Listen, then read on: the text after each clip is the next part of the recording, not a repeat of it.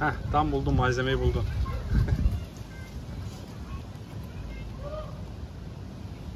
Ha. Ne yapıyor ya?